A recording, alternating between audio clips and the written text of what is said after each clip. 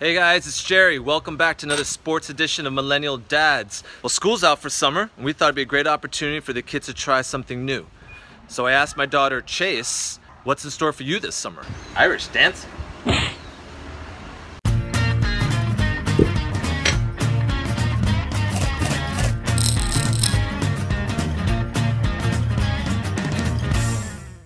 I was curious, but before I let her become the next Michael Flatley, Lord of the Dance, I wanted to know more about it. So we invited our neighbor and friend Goldie over, who just so happens to be a competitive Irish dancer. This should be easy, right? No.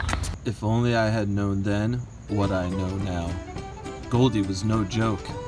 She was determined to teach us the three hand reel. Yes! Ha! She got it. You did it. It again. Okay, so. I didn't realize how competitive this was going to be. My athletic instincts were kicking in. Do nothing.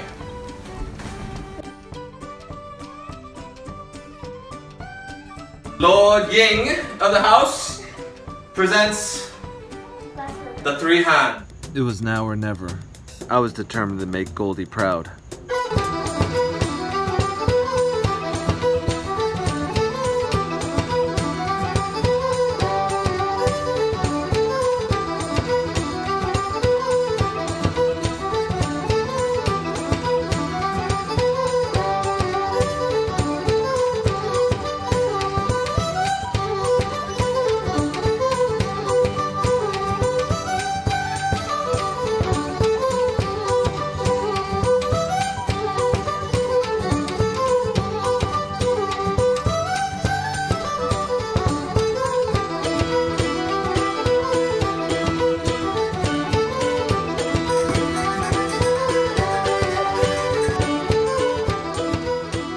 Say this for sure.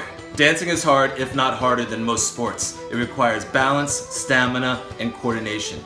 And it requires a little bit of that it factor, which I definitely think I have some of. So thanks for watching. Please like and subscribe, and then check us out in the next video of Millennial Dads.